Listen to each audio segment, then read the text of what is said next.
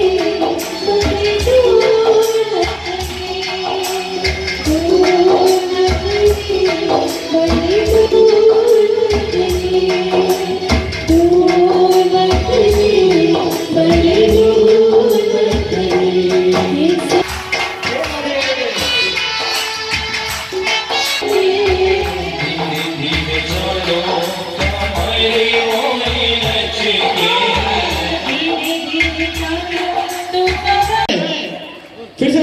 Krishna Kanhaiya Lal